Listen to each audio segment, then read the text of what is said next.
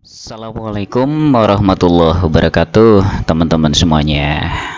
Eh, Video kali ini saya akan kasih judul Cara melihat perolehan nilai UAS seluruh semester di UT ya Universitas Terbuka jadi dengan cara ini kita bisa melihat keseluruhan nilai UAS semester 1, semester 2, semester 3, semester 4 dan seterusnya sampai tamat.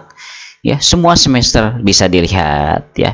Itu kalau misalkan si semester itu telah dijalankan oleh kita ya, telah dilalui gitu. Misalkan kita ini semester 4 nih, berarti kan yang muncul di sana itu semester 1, semester 2, semester 3. Semester 4 belum muncul dikarenakan sedang dijalankan ya. Pokoknya semua semester bisa terlihat. Caranya cukup simpel teman-teman, yaitu dengan masuk ke link ini nih. Nah, ke link ini ke sia titik ut titik ac titik id garis miring elkam garis miring elkam. Kita akan praktekkan sekarang ya. Oke, kita akan buka uh, Oke. Saya akan buka ya. Oh ya, sebelum ke melanjutkan sambil ini di video ya, bagi teman-teman yang ingin donasi untuk Salera TV silahkan saja ya. Silahkan untuk donasi dikarenakan yang membuat konten begini adalah berat ya kalau tanpa penghasilan ya teman-teman ya. Berat juga sih. Bagaimanapun setiap orang butuh uang. Itu link donasi ada di deskripsi ya. Terima kasih teman-teman. Itu yang Sudi saja ya. Ini ada 19 setengah 2. Oke, kita akan login. Nah, ke sini ya teman-teman ya. Ke sini gitu.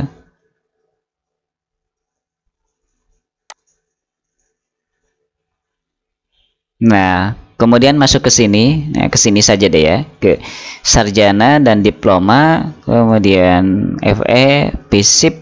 Nah, ini yang ini nih kemudian dibiarkan dulu. Dibiarkan dulu ini login. Eh login. Loading ya. Agak berat ya. Banyak yang buka kali. Tuh kan banyak yang buka teman-teman. Jika ada tulisan begini uh, look like something wrong itu ya server UT nya down ya. Tapi kita coba lagi ya. Kita coba lagi. Siapa tahu apa namanya dicoba lagi dia ngangkat ya. Ini server UT nya down teman-teman. Ya kita masuk lagi. Dicoba ya. Ya masuk. Sekarang masuk. Kemudian pilih laporan. Kemudian di sana ada ada, ada elkam umum. Nah yang ini teman-teman ya. Coba yang elkam umum aja ya. Nah yang ini nih. Klik aduh balik lagi ke sini. Jadi kita masuk lagi ya. Dicoba ya. Coba lagi welcome umum ya. Nah kita berdasarkan semester masukkan NIM. NIM sudah saya siapkan adanya di sini. Akan saya hide. Ya teman-teman. Kemudian kita masukkan. Kita cari. Ini NIM sudah saya masukkan kita klik cari biarkan itu proses sedang. Nah teman-teman itu sudah ada ya. Jadi sudah muncul yang data punya saya. Di sana ada tulisan lembar kemajuan akademik mahasiswa aktif dalam kurikulum 2021.2 NIM ada NIM saya nama-nama saya alamat saya kabupaten kota Kabupaten Tasikmalaya kode pos 4 ya sekitar ya. Kode pos akan saya tutup gitu ya. UPBJJ Bandung. Hmm, program studi ilmu komunikasi S1 registrasi saya tahun 2020.2 ya. Asal saya dari SMKN 2 Tasikmalaya jurusan teknik otomotif. Lahir akan saya hide Daftar mata kuliah dalam kurikulum ya. Tanggal cetak hari ini tanggal 7 bulan 2 2022 ya. Nomor uh, kode mata kuliah, nama mata kuliah, SKS, nilai, mutu, kelulusan, MOST. Jadi kita akan gulir ke bawah ya teman-teman ya. Nah, Di sana ada semester pertama, semester kedua, semester ketiga. Jadi semester pertama dan kedua itu sudah muncul.